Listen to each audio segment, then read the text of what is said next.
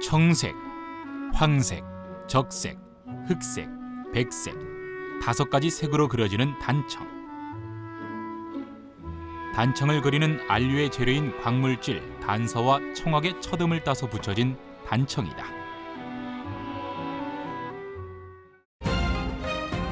단청은 건물의 중요도에 따라 극의 다섯 가지로 분류된다. 가칠 단청은 가장 단순한 양식으로 문양을 그리지 않고 바탕색으로 마무리하는데 가칠은 단청의 기본이 된다.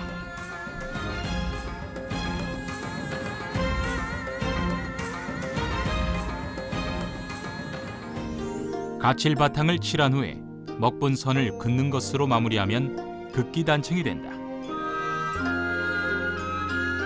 극기 단청은 획 단청이라고도 하며 비교적 권위가 낮고 검소함을 요구하는 건물에 사용된다.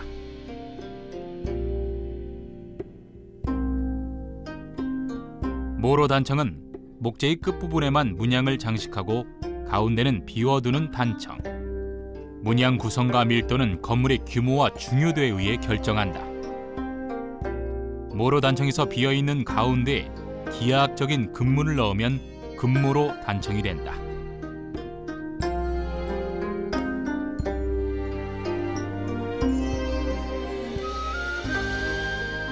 단청의 최고 등급의 양식은 금단청. 비단에 술을 놓듯이 모든 목재에 복잡한 문양과 색채로 장식을 하는데 주로 부처를 모신 대웅전에 금단청을 한다.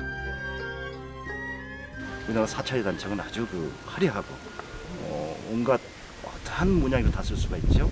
특히 이제 연꽃을 중심으로 해서 어, 단청을 하기 때문에 에, 화음 연화장 세계, 화장 세계를 바로 이 법당에 구현하는 의미에서 단청을 하는 것입니다.